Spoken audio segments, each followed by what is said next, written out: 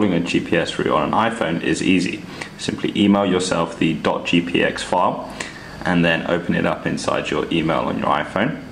Then when you see the file beneath, tap on it and it will download it and then you'll see an option to open this up in different apps. Now there's two apps I really recommend.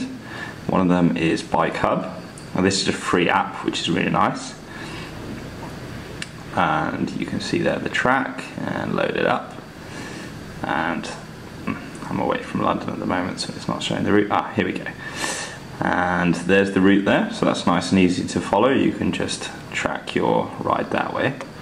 Alternatively, and an app I really like is Cyclemeter, which is available for $2.99. So load that up here, and we'll see this screen change. Here we go. It's importing the file. There we go. Just tap import, and that will load it up inside the app. There it is, and you can scroll down here and see the route on the screen. Uh, both ways are really easy. Uh, if you've got any other alternative, please do leave them in the comments below.